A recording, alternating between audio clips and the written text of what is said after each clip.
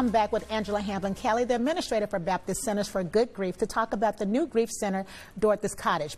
So before we go there, let me just ask you a quick question because I wanted to mention we have so much going on with these shootings and our children are just kind of, you know, harmed and stuff. So tell me, what's something we can look for? Or how can we help? Sure, sure. Um, one of the main things with grief is a loss of security, and so that's an aspect of grief is feeling just not secure in our world. And I think mm -hmm. many people in our community are feeling that way right now because, again, there is so much around us. And so talking about it is one of the most important things. Um, even coming down to safety planning. A lot of times children feel better, feel safer hmm. when they know there is a plan if something were to happen around you. Because quite frankly, we can't tell them that nothing is going to happen. Right, right. So we let them know their school administrators have a plan. As a family, we have a plan. And so talking about that can really eliminate a lot of stress for children. That's a really good point. Mm -hmm. I mm-hmm. love that. Mm -hmm. So tell us too, I know we have a new location at Dorothy's yeah. Cottage, but tell me also, so you're at so you mentioned it's four. We have four locations, okay. yes, with the Baptist Centers for Good Grief. So okay. two locations are on our Baptist Collierville campus. That's our Kemmons Wilson Family Center for Good Grief and Dorothy's Cottage that we just opened mm -hmm. uh, this mm-hmm. week adjacent.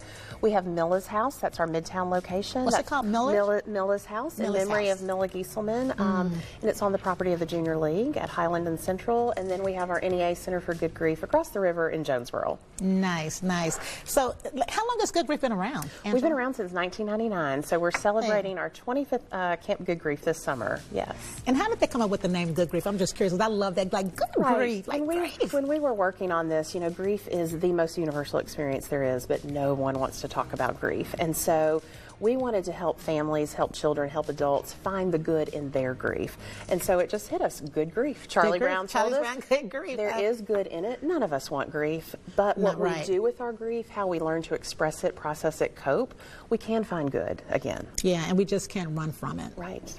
Right. I love what you said that even if you don't talk about it or share it, it will find like it will manifest its, itself in another way. Absolutely. Maybe not so good. Yes, you know? and that's the complete importance and the intention behind Dorothy's Cottage is all about gathering. So Dorothy's Cottage is meant for grievers to come together, whether that's our through our children's groups, our teen groups, families coming together, having a meal, and then working on an activity together because what we want to do is we want to help normalize grief. We want to bring the conversation out. We want people to talk about grief because when we do that, other things fall in line, meaning right. healthier bodies, healthier communities.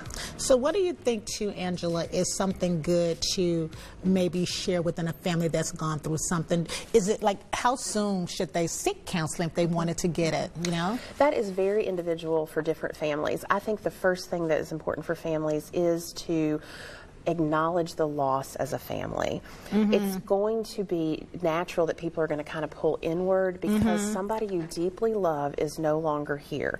And that person had a very important role in your family. Mm -hmm. And so that's not something that's going to just change overnight.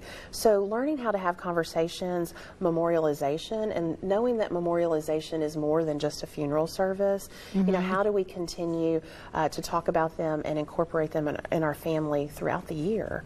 So not not necessarily tuck them away, right. but keep them active and exactly. alive, or the memory of exactly. it. Exactly. And how do we do that? And that looks different for all families. It does. I know yeah. how um, some people still like to go out maybe to the cemetery and Absolutely. visit, and some people find that crazy to do. It's just right. I think it's whatever works for you. It is. It is. And I think that's the unfortunate thing about grief is a lot of times people end up grieving alone because yeah. people around them have so many, you know, what they think you should be doing or you should not be doing at this point.